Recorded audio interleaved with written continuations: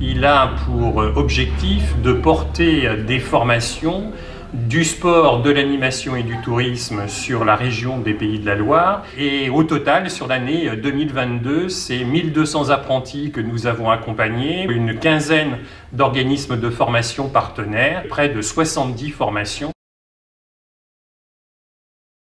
Le lien euh, est très fort entre les Francas et euh, euh, le CFA et peut reposer en un terme sur la notion de partenariat. Tout ce qui relève de la formation relève clairement des Francas et le CFA a en charge tout ce qui concerne le contrat d'apprentissage. L'apprentissage est un moyen offert à un jeune non seulement de préparer et d'obtenir une certification qui est inscrite au répertoire national des certifications professionnelles, mais aussi de le faire dans le cadre d'un contrat de travail. L'apprentissage coche aussi beaucoup de cases parce qu'il y a un accompagnement un accompagnement non seulement par l'organisme de formation, les Francas, non seulement par le CFA, mais aussi un accompagnement par les différents partenaires. L'État accompagne les apprentis en mettant en place une carte d'étudiant et une aide au permis de conduire à hauteur de 500 euros, accompagnement financier euh, au matériel professionnel.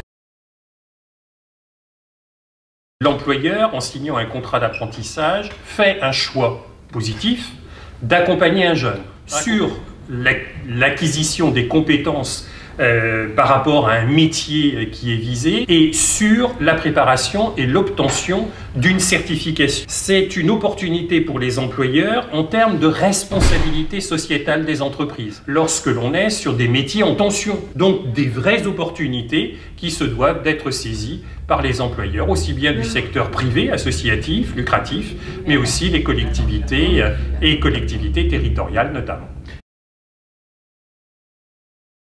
de l'aide euh, offerte par l'État pour le recrutement d'un apprenti, ce qu'il faut savoir, c'est que depuis le 1er janvier 2023, cette aide est de 6 000 euros. La formation est prise en charge. Ce n'est pas l'apprenti, ce n'est pas la famille qui supporte le coût de la formation.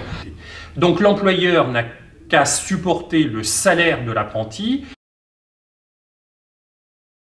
Juste dire, parce que je suis un militant de l'apprentissage, non pas que l'apprentissage répond à toutes les questions, répond à tous les besoins, mais l'apprentissage doit être vu à parité d'estime avec les autres offres de formation. L'apprentissage, c'est d'abord et avant tout une autre façon d'apprendre où l'expérientiel, ce qui est fait sur le terrain, est premier, puisque ce qui est premier et déterminant, c'est ce contrat de travail qui est signé avec un employeur.